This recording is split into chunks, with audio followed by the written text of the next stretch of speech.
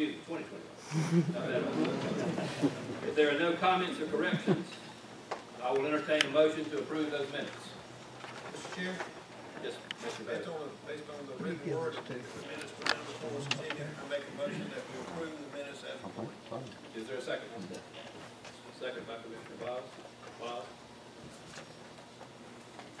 Raise your hand if you approve the minutes. I think that's unanimous, Mr. Chair.